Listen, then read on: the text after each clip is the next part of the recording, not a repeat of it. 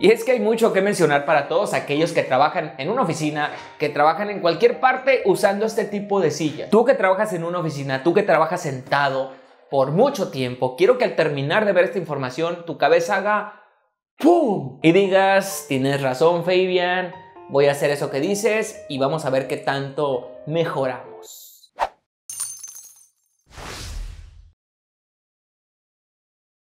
Aquí tu fisioterapeuta y osteópata en progreso. A ver, primero, se me hace un poco absurdo empezar a tocar estos temas con ejercicios para personas que eh, trabajan en una oficina, que trabajan sentados. Lo que quiero que entiendas primeramente es lo siguiente. De nada, de absolutamente nada te van a servir. Bueno, a lo mejor sí te sirven un poquito. Aquellos ejercicios por si te la pasas mucho tiempo frente a una computadora. Es que lo más importante es prevenir que empeore. Y con este ejemplo creo que lo vas a entender. El clásico ejemplo que seguramente conoces a gente así, de personas que van al gimnasio que sí, que le sudan la camiseta bien, pero al salir, ¿cuánto le damos, güerita? Ay, ahora nomás deme cinco, pero con todo. Y después se preguntan, ¿cómo es que no adelgazado si voy diario al gimnasio? Pues acá es lo mismo, podrás hacer muchos ejercicios para corregir tu postura, pero si no corriges estos hábitos, que es lo más importante, pues nada va a cambiar o no va a cambiar tanto como quieres. Y ahora sí, checa esto. La postura del oficinista, la postura de la persona que se pasa mucho tiempo en la computadora, yo le llamo la postura del doblado. Es decir, es una postura en flexión, o sea, está doblado completamente. Y te lo dice alguien que se la pasa muchísimo tiempo en una computadora. O sea, yo. Horas y horas en una computadora. La postura es la siguiente, hombros hacia el frente como si estuviéramos así, encerraditos, es decir, doblados hacia el frente, el codo doblado, las muñecas dobladas, la espalda baja, doblado, estoy exagerando un poco para que se vea, doblado así, aunque estás así, pero estás doblado así, el cuello como quieres ver la pantalla está así, doblado hacia adelante también,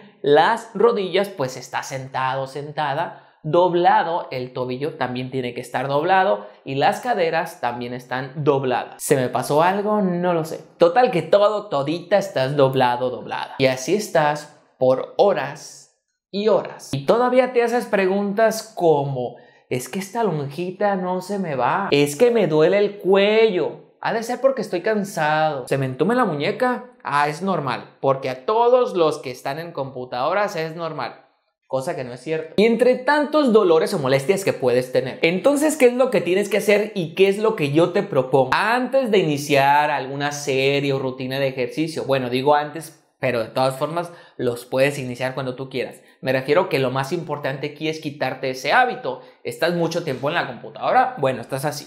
Digamos que estás viendo algún video.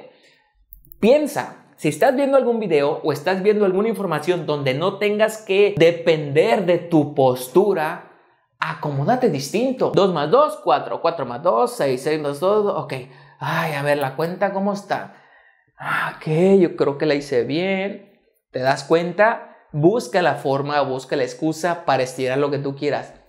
Se dice que cada 15 minutos, cada... No, hombre, hazlo, pero cualquier momento. No necesitas esperarte hasta la media hora para hacer alguna actividad, para hacer algún movimiento distinto. Que si nomás estás usando el mouse, pues usa el mouse. No estés así. Aprovecha, usa el mouse. Busca la forma de estirar alguna otra zona mientras estás usando el mouse.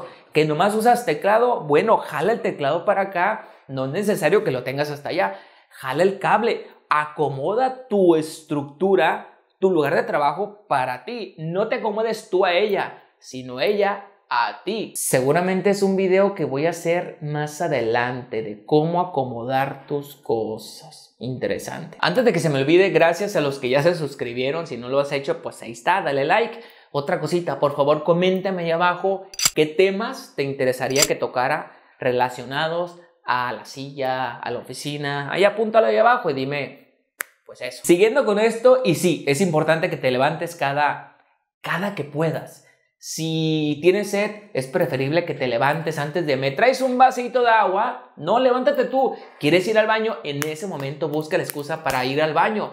La vida se te va a acabar ahí sentado. Y jamás fuiste al baño. Y te lo recalco porque así somos. Podemos estar sentados con media hora o una hora aguantándonos ir al baño por estar pegados en una cosa que ni siquiera nos urge. Esto, esto urge, no eso que seguramente estás viendo en la computadora. Por eso lo que te estoy proponiendo es que te mantengas en movimiento, siempre en movimiento.